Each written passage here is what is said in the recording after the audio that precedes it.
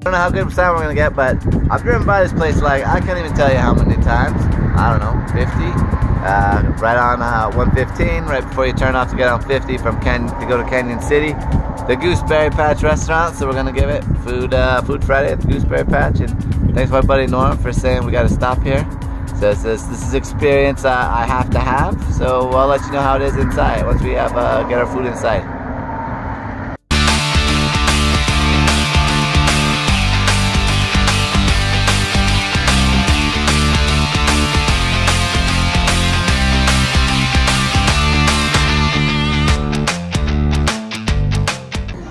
Alright, so Food Friday, kind of another one on the road. Uh, I was unsuccessful off-roading last week and not accomplishing what I wanted, so I went back again.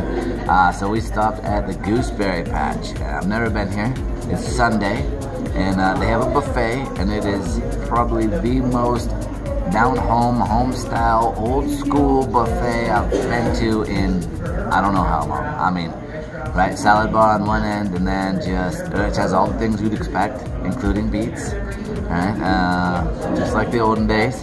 And then it had like fried chicken and some kind of uh, beef, like a roast beef and a, and uh, beef broth, and they had then they had some like kind of orange chicken chicken legs and some pulled pork and mashed potatoes and gravy and little corn fritters and all this different stuff. So anyway, um, everything was exactly like you'd think it should be. And if you if you go up in the 80s and you hit the buffet at name the place, it was just like that, right?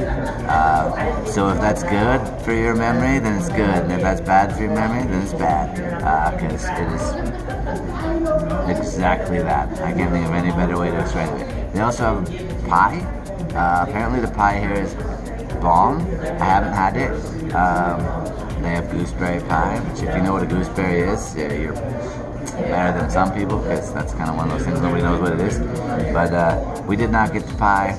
I'm pretty full. I probably won't get the pie, but maybe if they're open on our way back through, we'll have pie. Uh, so yeah, uh, get you some pictures, and this is one of those, you know, stop by and kind of relive your youth if you're old like me. Catch you on the next one.